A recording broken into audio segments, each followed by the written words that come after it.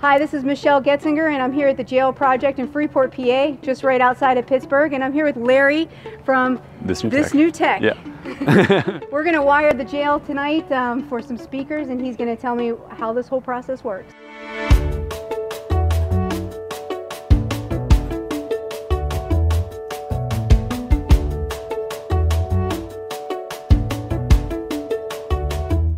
So I wanted to bring you out here to kind of show you the space and tell you what's going Okay. on. Um, up here is going to be a chandelier. Does that Okay. kinda affect your your what you're doing? Actually, yeah, I'm glad you brought that up. Um, what we want to do with the sound is we want to avoid anything hanging from the ceiling and get the sound away from that. Okay. Um, chandeliers, ceiling fans, anything like that, we want to get the sound away from it. It's just going to reverb. It's not going to really jive well. So anything you can point out as we walk through, perfect. Okay. This area right here, you have all this plumbing. What's what's going to happen here? This is going to be the kitchen. There's going to be a refrigerator, Okay. a pantry, and then it's going to start like a big long galley kitchen. okay, that's going to be nice. Yeah.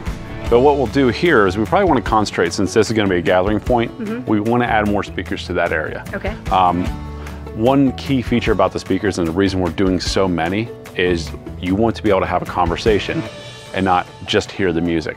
So by spreading that sound out, we're able to lower the volume of the sound, still enjoy it, still have a conversation. Okay. So anywhere around here, we'll do the same thing, but we want to keep as many speakers as possible. Okay. It's not just to turn it up, it's just so we can have a conversation. All right. Good deal. Do you need to know where the TVs are going to be? Yeah, absolutely, yeah. Okay. How would you? How do you deal with the sound there? What we do in a scenario like this, since this is essentially a commercial space, mm-hmm. we want to repeat the sound from the TV to all the speakers. Okay. So we're not going to do a traditional surround sound system with like five speakers and you can hear the helicopter going around you. We're just going to take the voice from this TV and put it throughout the whole building. Okay. So what we'll do is we'll add a wire from here and we'll take it to our hidden amplifier. So there's a source input, Okay. therefore we can have sound from the whole building. Oh, great. That brings me back to a good question here. Um, what do they look like? So basically, the easiest way to describe them is take a flower pot, turn it upside down. Okay. You have that cone shape, and now suspend from the middle of that a wire.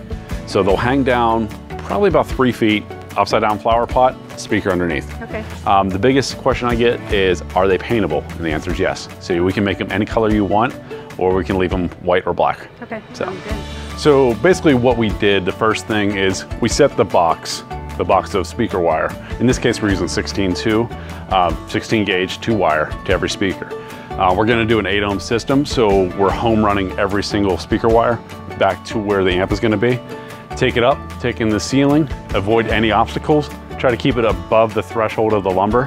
That way, when you put the drywall on there, your wire doesn't get smashed. Uh, we got one speaker wired, and we got many more to go. Hey, thanks for watching. Don't forget to click like and subscribe, and we'll see you next time.